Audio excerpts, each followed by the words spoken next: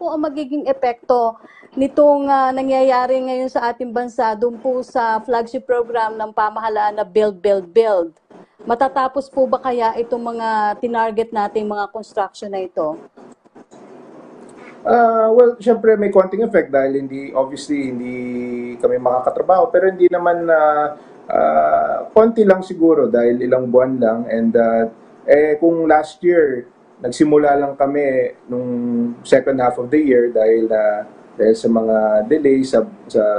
late release ng budget at dahil sa election late kami nakapagsimula Ah, at least ah, this year ah, nakapagsimula na kami and ah, tuloy-tuloy naman po at ah, sa tingin ko naman na kaya naman namin habulin ng target ah, implementation namin.